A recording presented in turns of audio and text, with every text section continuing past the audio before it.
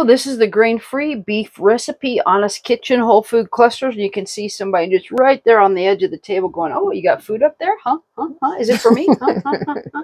But what we do is we use this as as treats instead of as her everyday food. And we actually, um, it seems like we, um, a while ago, we measured it out and calculated out, and it's about two calories per cluster per little nugget here and stuff. So it's a good training treat, reward treat and stuff. And if you do want to use it as her as your dog's main food source, the nuggets instead of the dehydrator, which is what we use, is the dehydrated stuff. But um, if you want to use this for their food, then just add a little bit of warm water, not hot, but warm water, and um, make it a little bit of make a little bit of gravy. Let it sit there for a couple minutes and soften up a little bit, and then they Mm, mm, will love it. Like, look at who's right there. She's just waiting right there. Can you sit Mhm. pretty?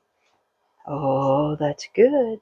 Can you oh, speak? What a good girl. Good job, Jelly. How about that? Yeah. Oh, good stuff.